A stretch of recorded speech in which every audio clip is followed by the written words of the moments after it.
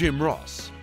Jim Ross was a classy centre half forward and ruckman who won three Best and Fairest awards during a nine season, 139 game VFL career with St Kilda. He also booted 171 goals. In 1955, he joined North Launceston as a playing coach, with the Robins proclaiming him one of the best footballers to come to Tasmania. Jim was a great player and a great ruckman, and, uh, and you know, really a fantastic bloke with it. Ross spent seven seasons in Tassie and played 109 NTFA games with North Launceston, winning the Tasman Shield Trophy on two occasions and his club's Best and Fairest award. I didn't pay him to go out uh, and win some of those titles. Uh, but if it's uh, agreeable with a bunch of players, I'm very pleased about it.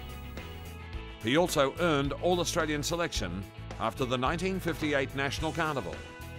Jim Ross uh, was magnificent in that carnival. He wasn't a big player, but he had a fantastic leap and fantastic judgment.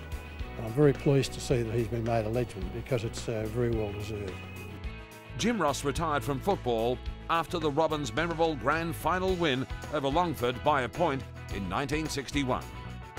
A result which provided him with the only premiership of an illustrious career.